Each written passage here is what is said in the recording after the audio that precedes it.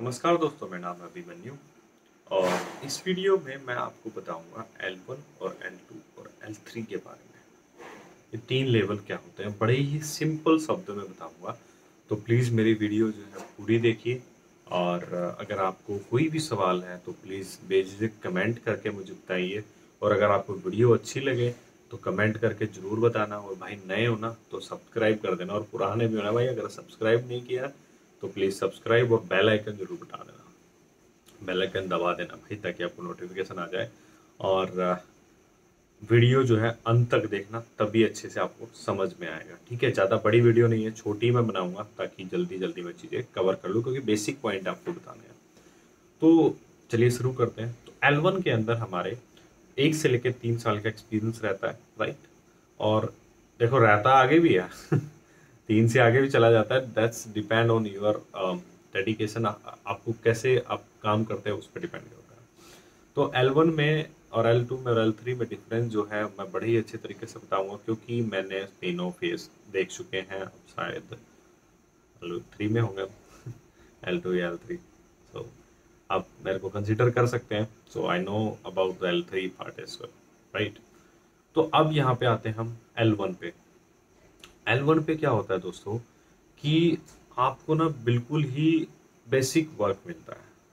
आपका जो यूज़र के साथ मतलब सिंपल सी बात यह कि आपका हार्ड वर्क ज़्यादा रहता है। आपको लो लेवल पे आपको काम करना पड़ता है। जैसे अगर मैं नेटवर्किंग की बात करूँ तो वहाँ पे आपको खाली केबलिंग करने को मिलेगी, आपको यूज़र्स के डेस्क पे जाके केबलिंग करने को मिलेगी। ये बेसिक वर्क रहता है राइट फिर उसके बाद आपको जैसे नेटवर्क मॉनिटर में आपको रीड ओनली का मोड दे दिया जाएगा कि आप खाली मॉनिटरिंग करोगे। फिर आपको उधर से अलर्ट्स मिल जाएँगे कि आपकी ईमेल आईडी पे अलर्ट आते रहेंगे, जहाँ पे आप जो है वो चीज़ें मॉनिटर कर सकते हो राइट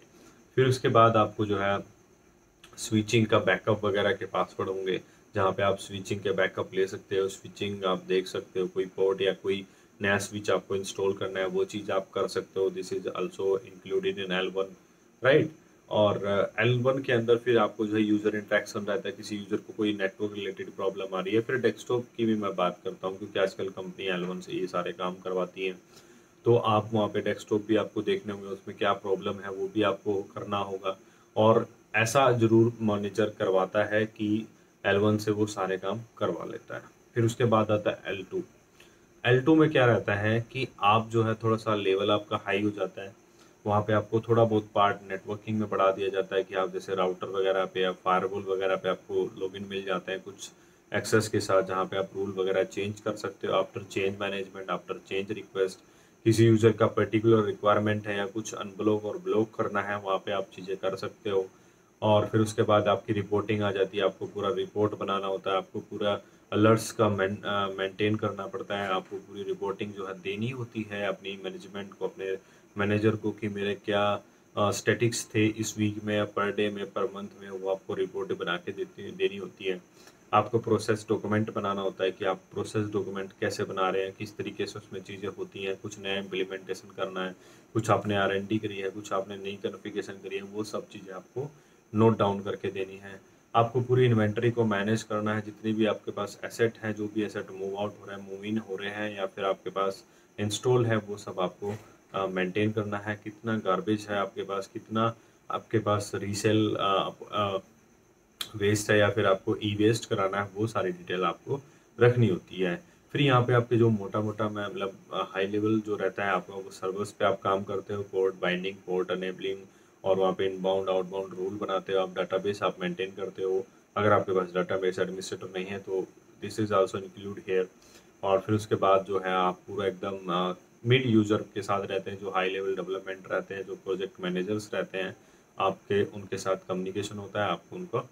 फॉलोअप करना होता है और वहाँ पे आपको काम करना होता है। अगर वहाँ पे एल थ्री नहीं बैठा है या फिर मैनेजर इन्वॉल्व नहीं है तो आपको वहाँ पे पेमेंट्स वगैरह भी मैनेज करनी पड़ती है।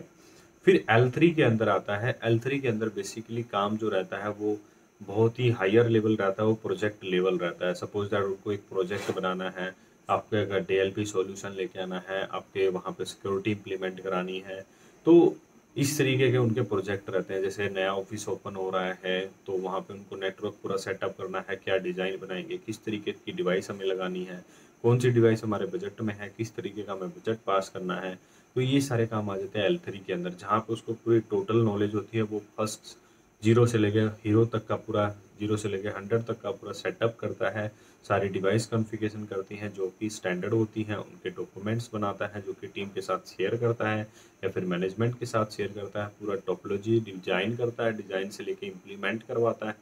करवाता है और एंड टू एंड जब तक नेटवर्क या प्रोजेक्ट आपका अप नहीं होता है तब तक उसको हैंड नहीं करता है राइट तो L3 के अंदर ये सारी चीज़ें आती है फिर वो L1, L2 से जितनी भी एक्सकलेशन की कॉल्स होती है वो सारी अटेंड करता है या फिर जो भी टास्क रहते हैं, वो सारे अटेंड करके आपको देता है राइट